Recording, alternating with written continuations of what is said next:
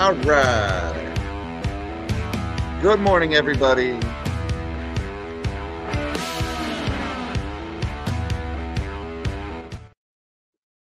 Good morning, all you magnificent melon heads, and happy Monday, everybody. I hope you guys are well. Today is March 25th, 2024, and you may have noticed I'm on the road today. We are uh, traveling with family today. So we're going to be doing this from the hotel, which means grainy picture on the laptop. Sound is a little off. I apologize for that.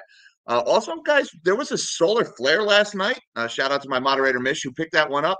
So uh, we've got things like grainy camera images. The Wi-Fi is not working all that well. Cell connections are a little weak. So I hope we don't have tech issues again this morning. But we're going to get through this anyway because there's a good amount of stuff going on this morning. Uh, first things first, it just hit the tape a few moments ago. Mish caught it within like 10 seconds. My, my mod is all over things this morning. Uh, Boeing CEO David Calhoun is going to step down at the end of this year. That's an interesting timeline that at the end of the year, he's going to stick around for a little while. Uh, nothing too surprising there. David Calhoun was bought in for Boeing in 2020 and that was following two very high profile crashes in 2019 of the 737 MAX 9 that killed hundreds of people. He was brought in for the sole purpose of righting the ship, of, of revamping the safety culture at Boeing. And well, empirical data would suggest he's done kind of a do do job of that, hasn't he? Especially considering, you know, talk of FAA auditors are saying that they're not getting cooperation. Security footage is disappearing for vital maintenance work involving that Alaska Airlines panel that blew out. And of course, the whole thing about whistleblowers winding up dead suspiciously, that story went away awful fast, didn't it? That that Boeing whistleblower who wound up dead of an apparently self-inflicted gunshot wound right before he was scheduled to make depositions about Boeing's safety culture and violations and being retaliated against for raising safety concerns. By the way, family friends of his said that he told them if he dies, it's not a suicide. Uh, so, very suspicious happenings going on at Boeing, to say the least. I'm not surprised to see David Calhoun stepping down. Uh, to be honest with you, I don't know what they're waiting for, waiting until the end of the year. Uh, it's just maybe we just move up that timetable a little bit. I just throw them out there. You guys do what you want. But Boeing stock is active, actually reacting favorably to this news this morning. We've also got news out of China here. Um, they are implementing, I don't, I don't know if a chip ban is the right word to use here, but it's further restrictions on US made chips. Um, they announced, or Bloomberg is reporting that China is said to be in the works of implementing a, a phase out restrictions on what was limits on the use of man of US made microprocessors and servers. So that was the actual phrase in the Bloomberg article. Specifically, Intel and Advanced Micro Devices were named. Both of those stocks are not doing so well this morning. The back and forth, the chip wars between the US and China continues. That is uh, no no signs of slowing in that. We've got Japan's vice finance minister has announced that he is very suspicious of some recent moves in the yen. Um, I don't know why he's suspicious. The PBOC came out with a weak sauce 10 basis point rate hike from negative 0.1 to zero interest rate. Not much of a rate hike after decades of negative interest rate policy and ultra dovish monetary policy from the PBOC. So I guess he shouldn't be too surprised to see that weakness in the yen.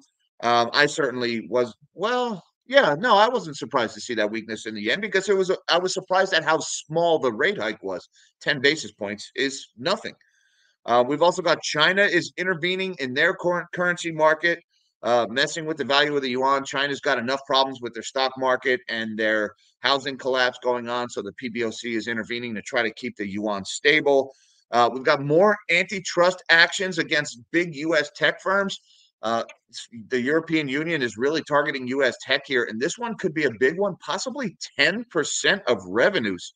Um, some pretty surprising language going on out of out of Europe here in this targeting of big U.S. tech. So, uh, you know, why don't we just shrink my big melon of a head and let's see what's going on in the markets this morning, shall we?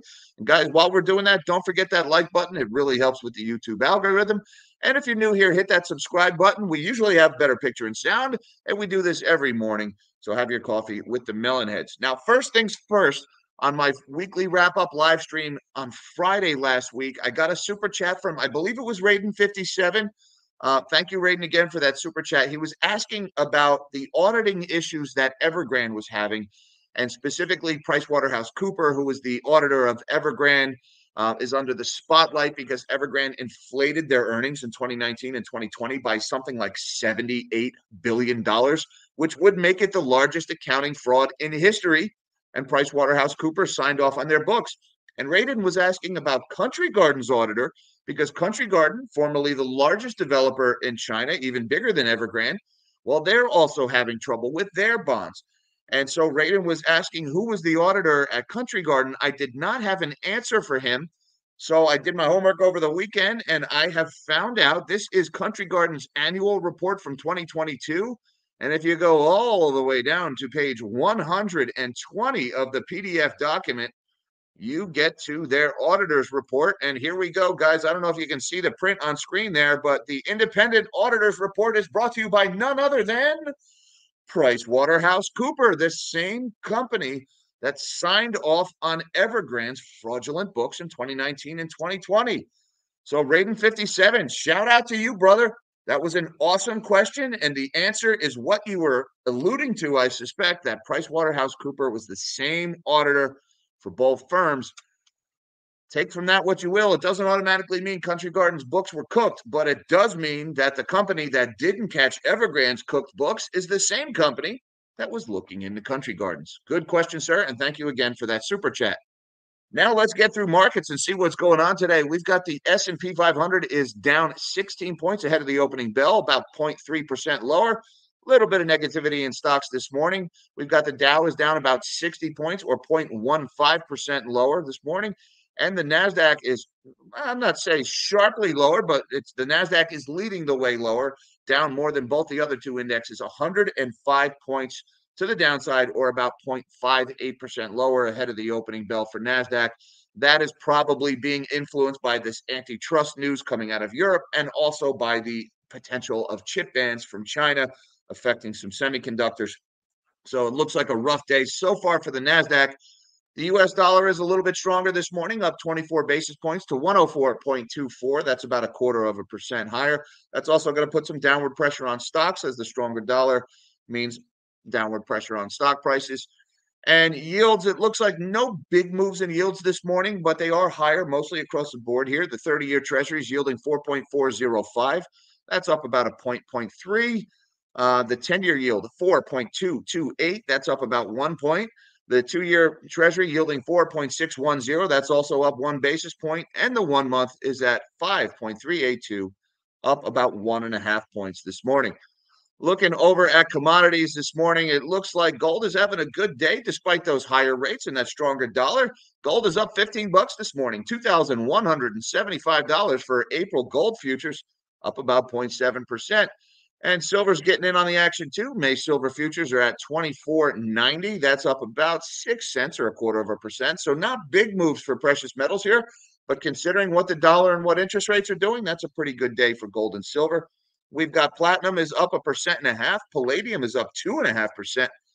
And West Texas Intermediate crude oil is up also with May futures at $81.03. That's up 40 cents this morning or about a half of 1% higher. And looking over at Bitcoin, we've got Bitcoin's down again, although it looked like it had a pretty good weekend. Uh, notably, you don't have any ETF outflows during the weekend because the markets are closed.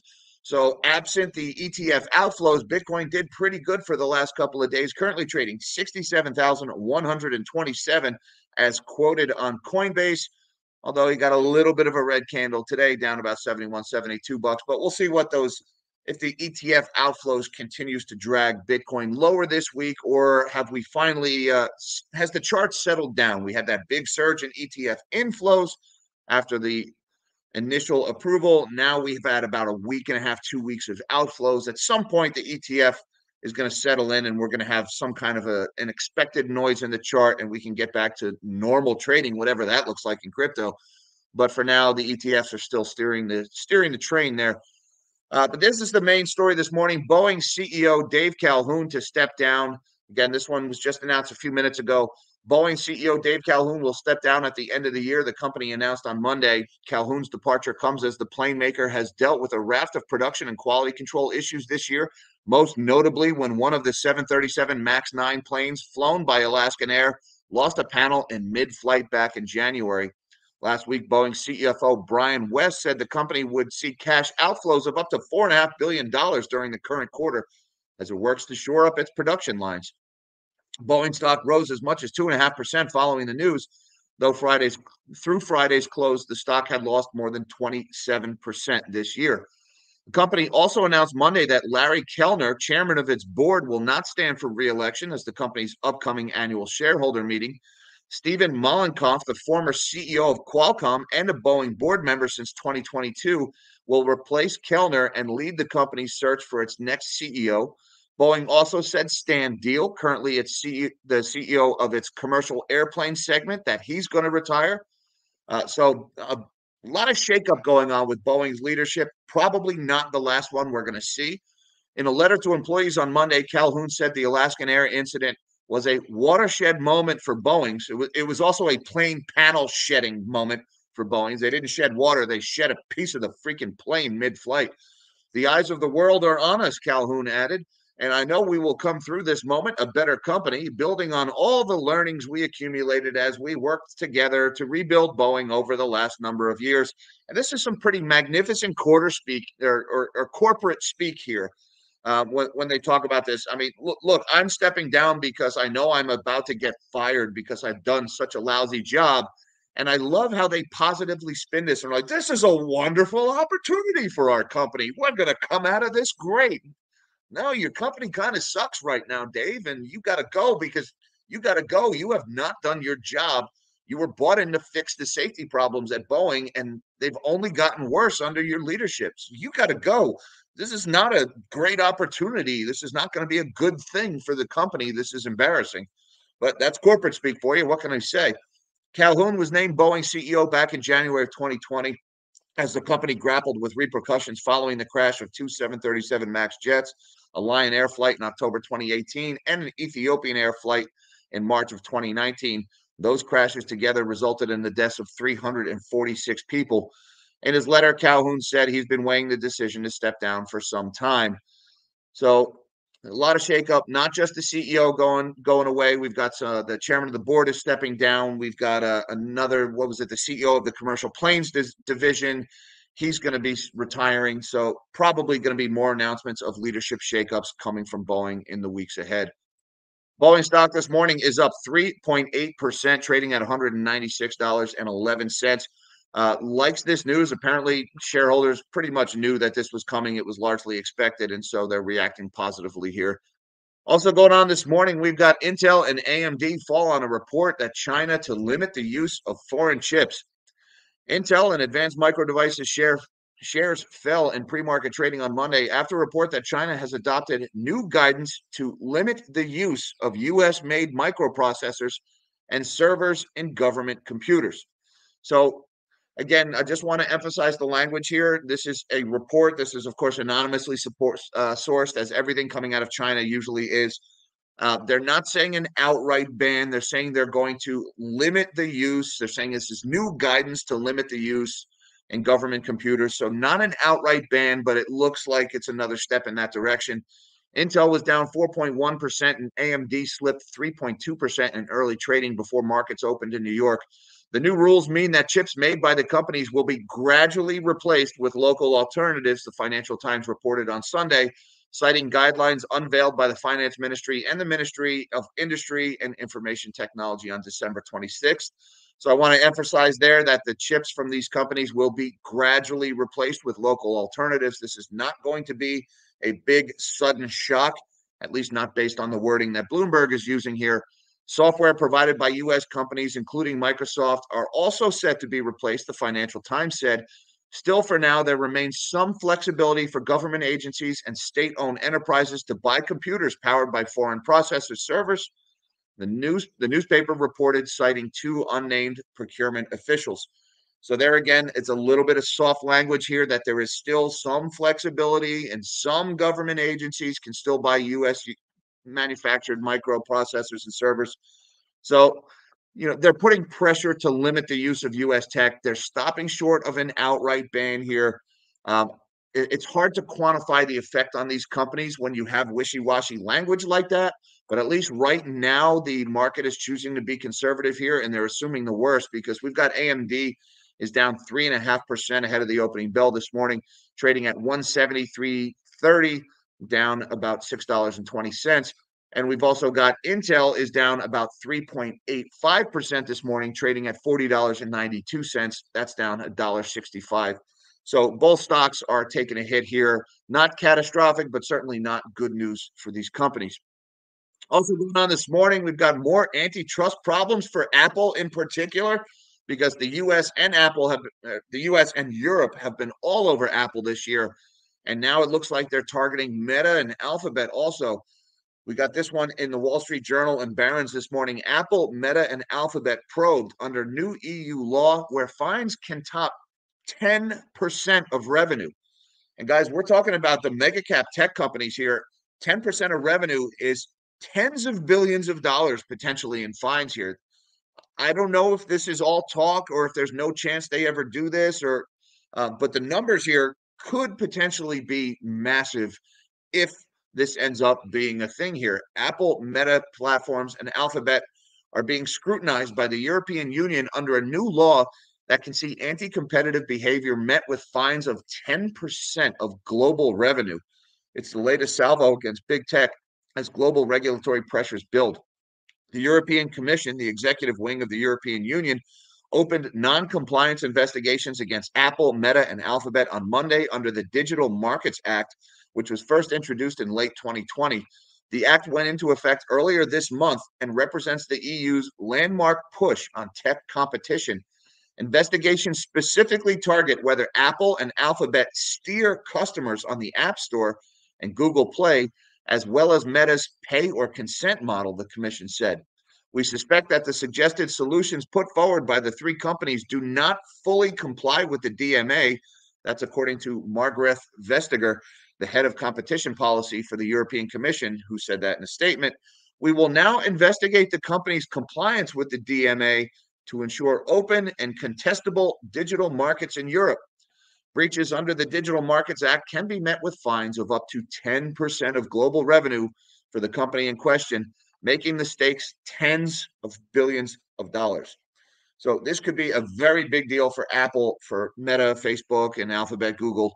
Uh, just the latest in a long line of antitrust moves on both sides of the Atlantic against big tech so I don't know if there's actually going to be any fines here. They've just announced that they are beginning the investigation. These things can take a long time to play out.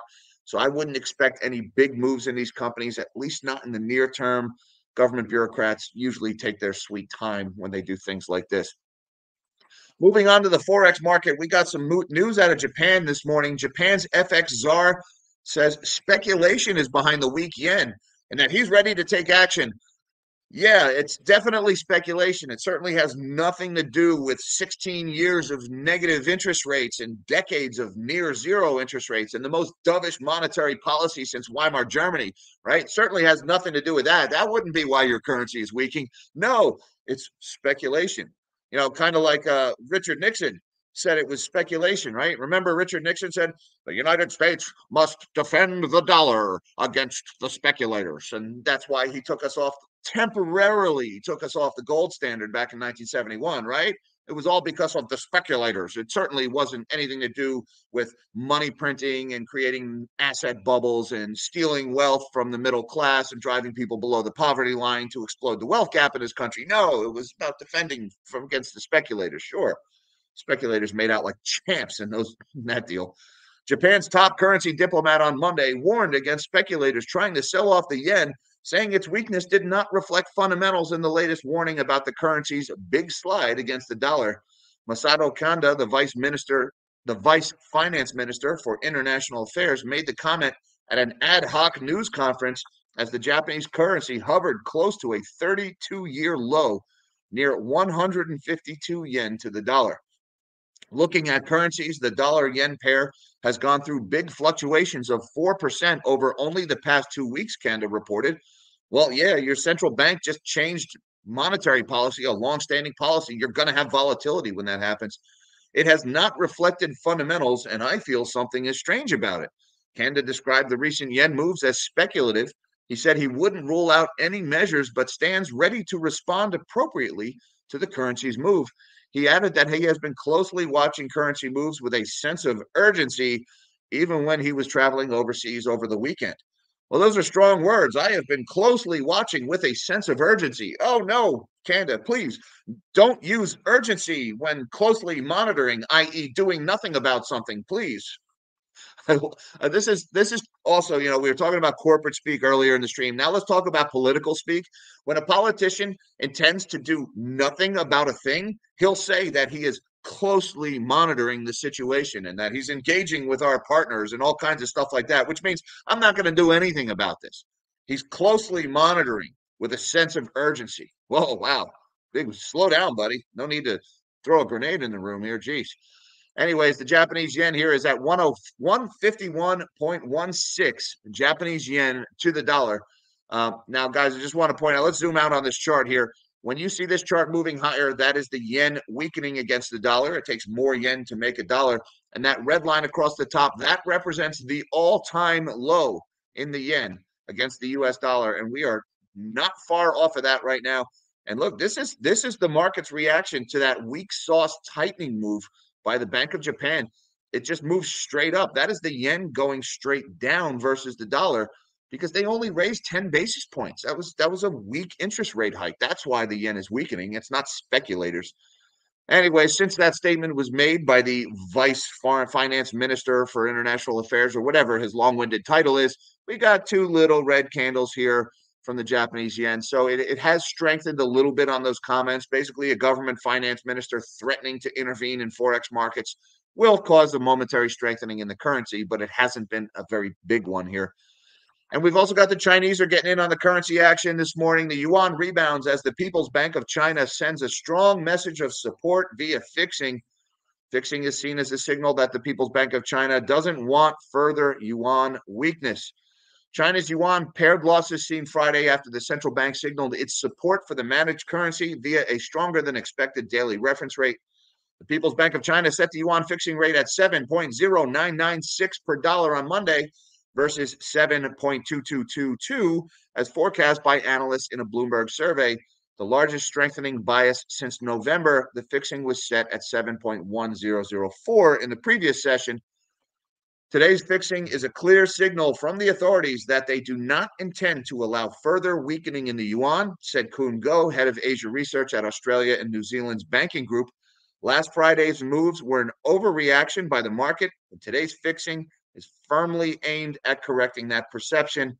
The Chinese are fighting with a stock market volatility problem. They're fighting with the collapse of their real estate market, and their bond market is having big problems because of the developers See also the earlier comments about Country Garden and Evergrande. And so they don't want to add a currency collapse to that problem. So they're intervening to try to fix the yuan. Again, here we're looking at the USD to yuan chart here. When you see this chart moving up, that is the yuan weakening. When you see this chart moving down, that is the yuan strengthening. And we've got a little bit of yuan strengthening this morning here, reversing. It looks like about half of the losses from Friday, currently at seven 0.2096 to make $1. And the last one I want to talk about this morning, guys, is this story. Now, this one happened mid last week, and I talked about it briefly in my video I did about Martin Shkreli over the weekend. Uh, but this is an important topic, and, and I want to mention this one here. I don't know how big of a story this really is. This is either a nothing burger on the way to bigger and better earnings from the the chip makers and the AI mania, or this could be the first sign of weakness among the end users and the customers of these GPUs. And that's why I want to draw attention to this. Uh, last week, Microsoft basically gobbled up Inflection AI. Now, Inflection AI is one of your second tier AI platforms. They're not one of the big giants like Amazon, uh, you know, AWS or Microsoft or, or Meta and Google right? Inflection AI was kind of along one of your your mid level AI programs. They were had a lot of chatbots and everything. Apparently, things at Inflection AI weren't going so well. And Microsoft stepped in last week and they didn't buy the company, they just hired all the talent. Microsoft hired two out of the three founders of Inflection AI last week, and most of the employees, we don't know how many, but they basically just hired up the whole company. And now whatever's left at Inflection AI is basically just going to coast down. The, the company's gotten as big as it's ever going to get. This is another one of those companies that Nvidia took a stake in, and you know Microsoft actually owned a stake in this company too. But it looks like they're pretty much they're still in business, but not for much longer.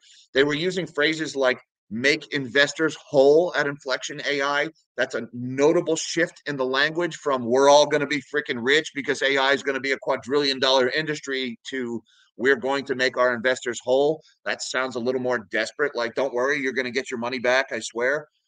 Uh, Microsoft will pay Inflection AI $650 million.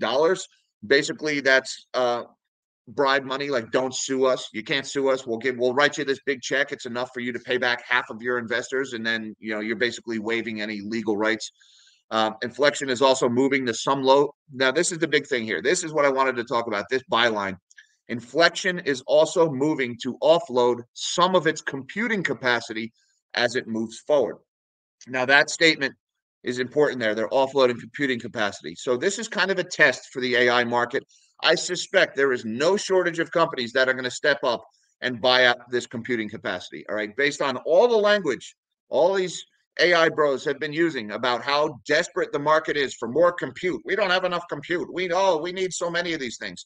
And look, NVIDIA's numbers, at least so far, back that up. So there should be no problem with some other company coming in and buying up this compute capacity. But there's an important thing I wanted to note all the way down, about three quarters of the way down this article. Where was it? I, I got to do a control F here. There we go. It was this sentence down near the last, or about halfway down the, the, the article here. The company is seeking a partial refund from its cloud computing partner, CoreWeave, one of the people said. And that is the line right there. You see, CoreWeave went out and bought, I believe it was something like 20,000 of the NVIDIA H100 GPUs, which, you know, off the top of my head math is probably something like $700 million, maybe $650 million worth of these NVIDIA GPUs that CoreWeave went out and bought for the purpose of renting them to Inflection AI. And Inflection AI was paying for that with the money that NVIDIA gave them. See also round tripping, guys. All right. We how that money eventually ends up right back in NVIDIA. But the point is, now Inflection AI wants their money back.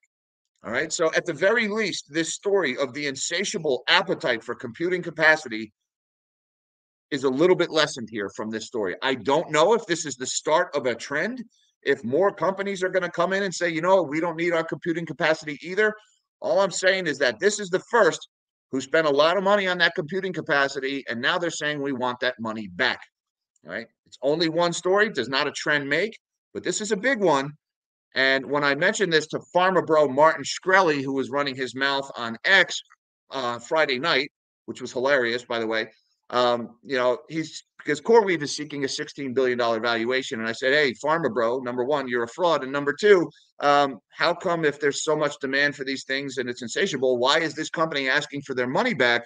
Never got an answer from Pharma Bro about that one. I did get a whole bunch of BS and back and forth. And to be honest, it was the most fun I've had on a Friday night in a while because, well, I guess I need to get out more. That's probably the lesson there. But I did a video about Pharma Bro. If you want to check that out, I had a little bit of fun with that. Anyways, he's a clown and he's a crook and he's a fraud. And everything he says needs to be viewed through the lens of the fact that he's a convicted fraudster. And therefore, you have to automatically assume everything the man says is a lie. And chances are that's probably the truth. Uh, but he's a proud CoreWeave customer, so there's that. Good, good luck. Ride that rocket, CoreWeave. Uh, anyways, I just want to say thank you very much to Mr. Dive Bar, who says would love more talk about it. Platinum, given it is at nearly 15-year lows and 30 times more rare than gold, with far more use cases. Seems like a sleeper. Thanks. Okay, Dive Bar. Uh, look, platinum. Maybe it does have a lot of use cases, but right now the biggest use case of platinum is automotive. There are others. It is used in jewelry. It is used in certain electronics applications, but the lion's share of platinum's use is in catalytic converters. The same goes for palladium.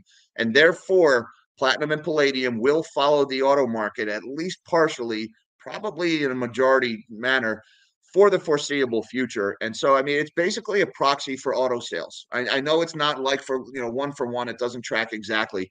Um, but the auto market is in trouble right now.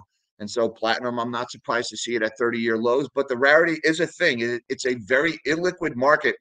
And I would say the biggest upside potential for something like platinum is the fact that almost all of the platinum supply is controlled by BRICS countries. You've got South Africa is by far the largest producer, and the second largest producer is Russia. So, besides automotive exposure, the biggest risk, or I should say, the biggest upside to platinum, is if things between the US and BRICS ever got so bad that there was anything resembling an embargo, then that would send platinum prices in the US skyrocketing. But at the same time, that would be shooting themselves in the foot because, well, the US is the biggest auto market in the world. China may be getting close, but for now, I'm pretty sure it's the US. And well, if you refuse to sell platinum to the biggest auto market in the world, you just destroyed the, your own market for platinum. Uh, so I touch on it every morning, but it's not something that I hyper focus on or or or divert that much resources to it. But I do appreciate the super chat. And by the way, um, I want to send a shout out to my buddy Jesse Day over at Commodity Culture. He's actually did a fantastic documentary about platinum, uh, Little Silver. It was, about a year ago he did that. That's a very good video. I highly recommend that. And shout out to my buddy Jesse over at Commodity Culture. And thank you, Jana Williams, for the super sticker. I appreciate that very much. Thank you for supporting the channel. And thank you to HP Lovecraft, says Panera Bread ordering and loyalty app out system wide most likely ransomware because of radio silence from the company. PB IPO second time in 2024. What's P? Oh, Panera Bread. They're IPOing again. Really? I didn't know. I didn't know Panera was IPOing. Um, when I hear Panera Bread, I immediately think of that BS in California with the minimum wage law and how they carved themselves out an exemption to that. What a joke that was. Uh, look, I'm not too surprised to see some tech issues this morning. Um, I was having a hell of a time getting ready for this live stream this morning. I don't know if it was that solar flare was creating problems, but I, I, was having a hard time getting the Wi-Fi to work. I was trying to use my hotspot, getting that to work. I finally was able to limp through this one. Um, but tech issues today are probably going to be a thing. And by the way, I hear you may be able to see the northern lights tonight as far south as Alabama. I don't know how true that is, but that would be something. So uh, keep an eye on the sky this morning. You might get a show. And uh, thank you for that information about Panera Bread, uh, because besides tech issues being widespread, hacks are going crazy right now. There is a cyber war that's being fought in this world right now. And, you know, doctors' offices and medical outfits are still struggling with that change health hack. That is still causing problems. Um, so I don't think there's any end in sight to that one, unfortunately. Thank you very much, HP Lovecraft. I appreciate the super chat, support of the channel, and thank you to Cole Marsh for the Nixon impression. I'm not a crook. Yes, that's Nixon. We must defend the dollar against the speculators. Martin Shkreli is a loser and a liar and a crook, and you shouldn't listen to a single word that he says. Thank you very much, Cole Marsh. I appreciate the super chat and the support of the channel, brother. And thank you, everybody, for having your coffee with the Melon Heads this morning. Thank you for all the super chats and the generosity. And thank you to my Patreon supporters for everything you guys do to support the channel and to my magnanimous Melonhead members. I got links down below to all that good stuff, should you feel so inclined. Hi, Mom. Hi, Dad. I love you guys. Everybody, till next time, live small and dream big.